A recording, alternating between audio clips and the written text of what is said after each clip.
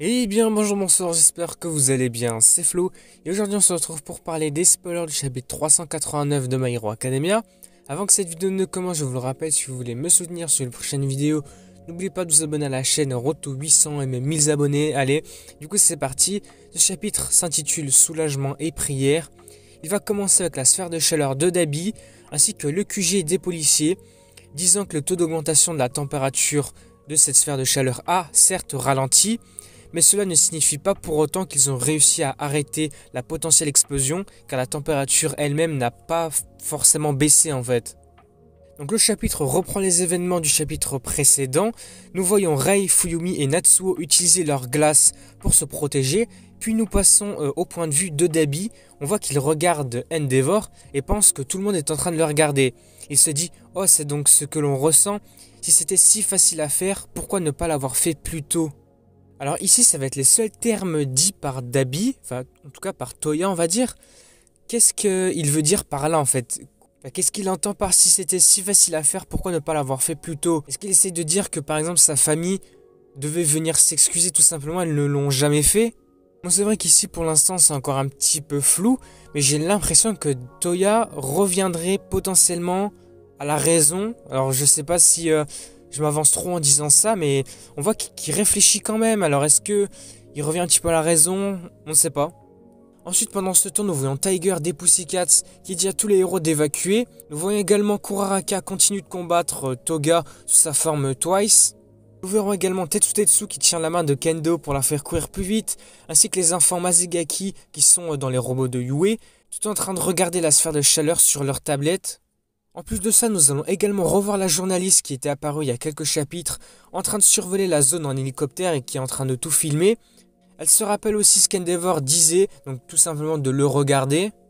Dans l'un des camps d'évacuation, nous voyons un garçon dire Tu ne le vois pas, il observe tout en priant. C'est d'ici que vient le titre du chapitre, je pense, parce qu'on va voir euh, ces actions-là plusieurs fois dans le chapitre. Ici, je vous mets l'image du chapitre en un petit peu plus grand. On voit le visage de Dabi, qui a une grande fissure blanche après, c'est la marque du dessin. On voit une grosse marque blanche qui traverse toute sa tête. Alors, euh, pourquoi il y a ça? On dirait une grosse fissure due à la chaleur de son corps qui est en train de se détruire.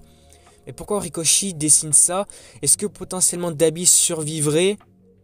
Mais son corps serait couvert de grosses fissures de ce type-là, par exemple? Après, mais bon, même si on y réfléchit, si Dabi survit, euh, son corps il est carbonisé. Là, il a plus rien. On sait même plus s'il a encore un visage. On va aller continuer ensuite dans un café qui se passe aux Philippines pour voir une femme qui commence aussi à prier. Et puis nous revenons du côté des enfants de Mazegaki. Il y en a un qui va dire Ah, c'est bon, tout va bien, il nous reste encore 5 zizi. Donc vous savez de qui on parle. Puis à cet instant, nous voyons Shoto et Ida s'envoler dans les ciels à une vitesse complètement folle, tandis que Shoto active sa technique de phosphore. Et c'est ainsi que le chapitre va se terminer. Avant de terminer, on a un petit commentaire de l'auteur, donc commentaire de Rikoshi dans le Shonen Jump de cette semaine. Depuis que j'ai commencé à regarder le football, j'ai l'impression d'être un petit peu plus doué pour dessiner les jambes. Ah, c'est bon, il a regardé Blue Locks pour ça. Bon, du coup, voilà le résumé complet du chapitre. Les spoilers s'arrêtent ici. Le chapitre était incroyable. Cette arrivée de Shoto en scène comme ça, elle est folle. Je vous ai mis l'image également, là on voit Shoto en train d'utiliser le phosphore, donc à la fois la glace et les flammes. C'est impressionnant. Alors qu'est-ce qu'il va faire J'imagine qu'il va tenter de sauver toute sa famille, mais lui, c'est vrai que là, il n'est pas au courant de ce qui se passe actuellement. Il sait que Dabi est en route vers Endeavor, mais je pense pas qu'il sache que sa famille, euh, en tout cas sa mère, sa soeur et son frère, sont euh, en train d'essayer de sauver Dabi également.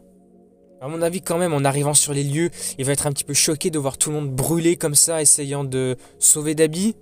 Alors que comme il l'a dit déjà plusieurs fois, c'est un petit peu son devoir de battre Dabi. Du coup, le chapitre se termine sur cette entrée en scène de Shoto, mais je pense vraiment que là, comme par hasard, Shoto il arrive, Orikoshi va décider de changer d'endroit au prochain chapitre.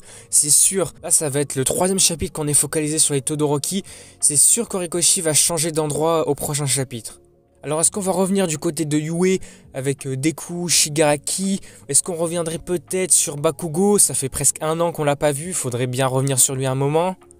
Est-ce qu'on pourrait revenir également? Là, ça fait encore plus longtemps qu'on n'a pas vu Fat Gum Oyama contre un des évadés du Tartare. Je sais même plus comment il s'appelle, avec son pouvoir de fleurs, de plantation, de végétation, je sais pas trop.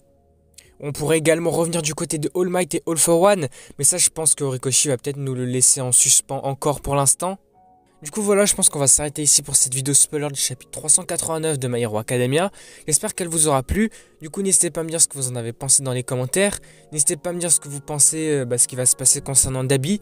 Est-ce que la Shoto va réussir à le sauver? Peut-être grâce à sa glace, additionnée à celle de sa famille sera suffisante pour le stopper? Et puis n'hésitez pas à liker, à commenter, à partager comme d'habitude. Et n'hésitez pas aussi à vous abonner à la chaîne pour me soutenir sur les prochaines vidéos spoiler. Et je me répète ici, on vise les 800 abonnés, voire même les 1000. Ce serait incroyable. Et du coup, moi je vous dis à la prochaine.